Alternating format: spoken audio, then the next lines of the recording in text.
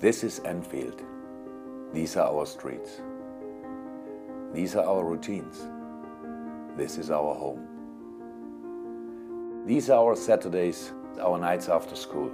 These are our colors, our flags, our pubs, our gates, our mates, our crest, our words, which stand alone. This is the man who started it all, and this was his favorite place. This is the Kop where we taught the rest how to sing.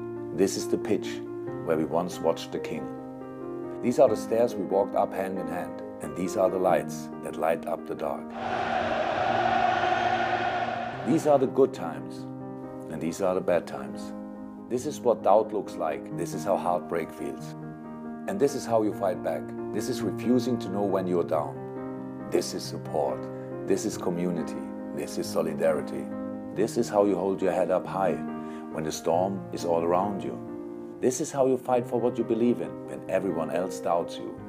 This is the first time. This is the hundredth time. These are the reasons to look forward to the end of the shift, to the end of the week, to the end of the storm. This is the team we'll always adore.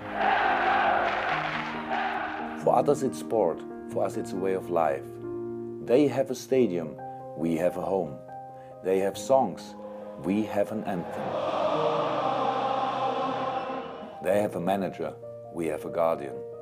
They have supporters, we are a family. We are Liverpool. This means more.